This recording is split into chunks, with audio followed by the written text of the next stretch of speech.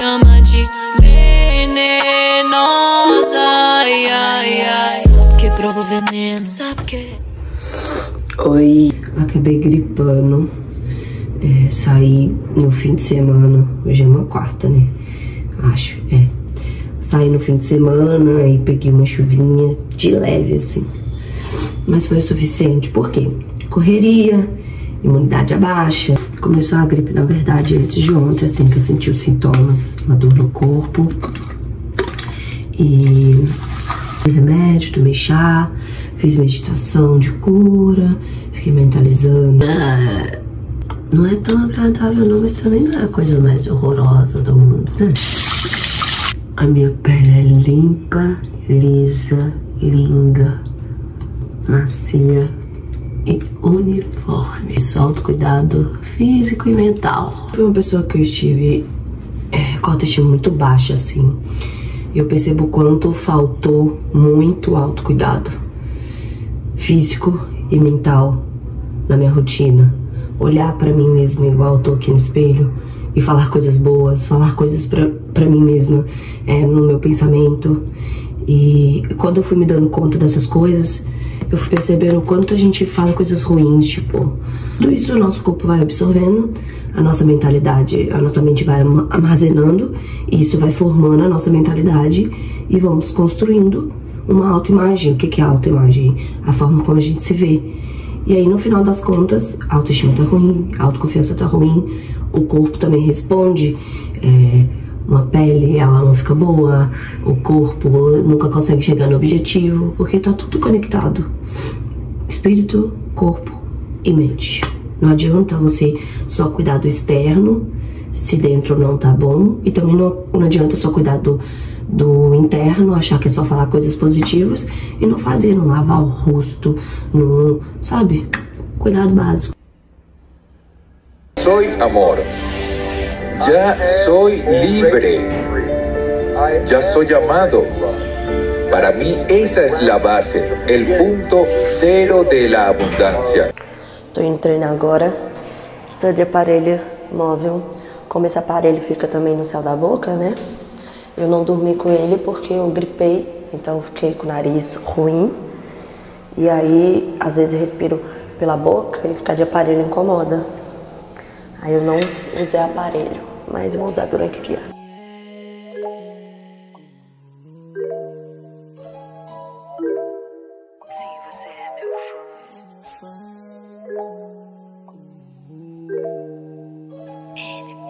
Saí da academia, aí eu parei aqui, sentei, é, meditando numas reflexões enquanto eu respondia umas, umas perguntas do Instagram.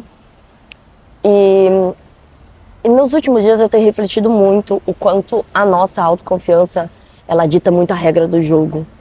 Quando você não tem confiança para começar as coisas, não adianta você achar que falta oportunidade, que falta incentivo, que falta a pessoa querer, que falta elogio, falta isso. Você não sai do lugar. Muitas vezes a gente procura muito o externo, né? Tipo, aprovação do externo, elogio do outro. Só que a gente esquece que toda, toda essa resposta que a gente está procurando, ela tá aqui dentro. Ela tá aqui dentro. E a gente tem uma necessidade de, de, de aprovação, e quando a gente não tem essa aprovação nossa, a gente busca do outro. E nesse buscar do outro, aí que a coisa complica. Sim, você é meu fã. Existe talvez. Quer me ver amanhã? Amanhã ainda nem pensei. Que eu sei. Com essa mão no pescoço. Vem me pedindo replay. Faz do jeito que eu gosto. Um cordão de ouro combina com o brilho que sai de seus olhos. Estou quando você tá perto. Sabe esse buraco aqui? A música fadete, ela quer me jantar. Boa. Cuidem que falem.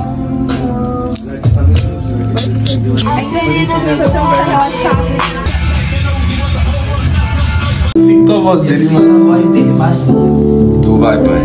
Deixa que eu elevo o nível. Em cada fase eu me torno invencível. Olho pra trás e vejo o quanto eu sou incrível. Não tinha esses flash, flash Sem todo esse cash Mas fiz o impossível Cancelaram a minha reunião. Porque só vai ser segunda, passou pra segunda. Paramos aqui pra ver uns docinhos, ó. É, sem açúcar. Maravilhoso. É sem glúten? É sem glúten também? É sem glúten. Eu vou pegar o de pistache. Eu amo de pistache. Você pegou de quê? Hora, vai ver quem é quem. Eu vim nesse lugar te ensinar a multiplicar o 100 pra foder pro meu país.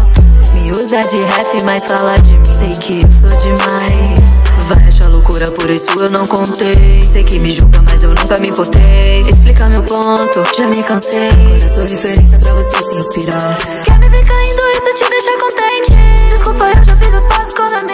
Mente. nunca vai estar bom o suficiente.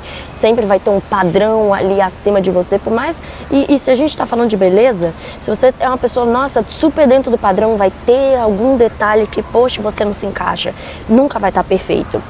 Então, é, antes de você achar que você sua autoestima tá ruim porque as pessoas não te querem, é, você não, a sua autoconfiança tá ruim porque ninguém valoriza seu trabalho, volta para dentro de si e começa a ver o quanto você se ama, o quanto você se acha merecedor, merecedora, o quanto você se acha lindo linda. Começa ver como que é a sua autoimagem, qual é a forma como você está se enxergando, quais são as coisas que você fala para si mesmo, porque você está absorvendo tudo isso.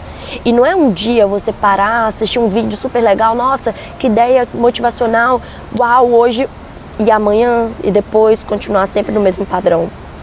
Começa a pouco a pouco ir mudando a forma como você conversa com você, a forma como você olha o seu trabalho, a forma como você se admira. Tem pessoas que querem a admiração de terceiros, não se admiram. Eu já fui essa pessoa. Eu falava, nossa, as pessoas não valorizam o trabalho, né? Você tá aqui, eu como artista, né? A gente cai muito nessa, nossa, as pessoas não valorizam muito isso. E eu saí disso, eu falei, quer saber?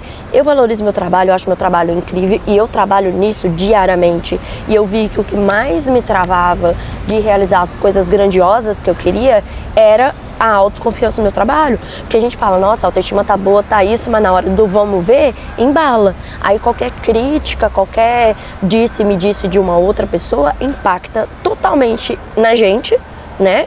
E a gente fica mal. Ah, será que o meu trabalho não tá bom mesmo? E a gente acredita, acredita na opinião um do outro com muita facilidade quando a nossa autoestima e a nossa autoconfiança não tá fortalecida.